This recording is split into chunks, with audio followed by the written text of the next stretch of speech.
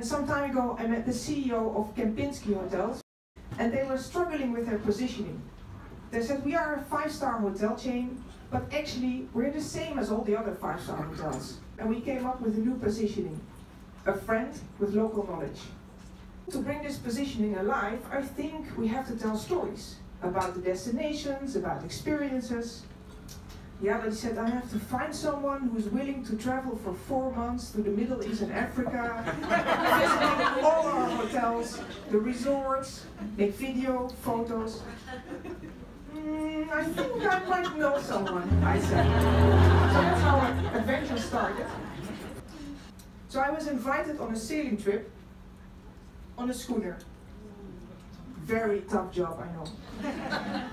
Suddenly, one of the sailors started shouting. Whale shark! Whale shark!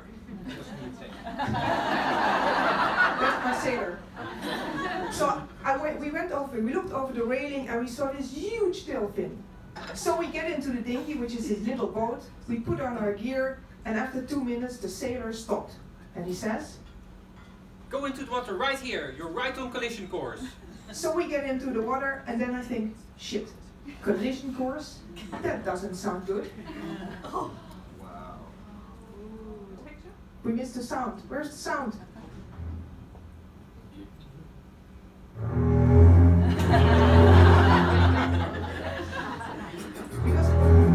Shark can be 30 feet long, which is it's it's huge.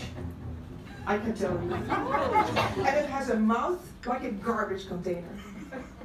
And I know that the animal only eats plankton, but I fit easily in the garbage container.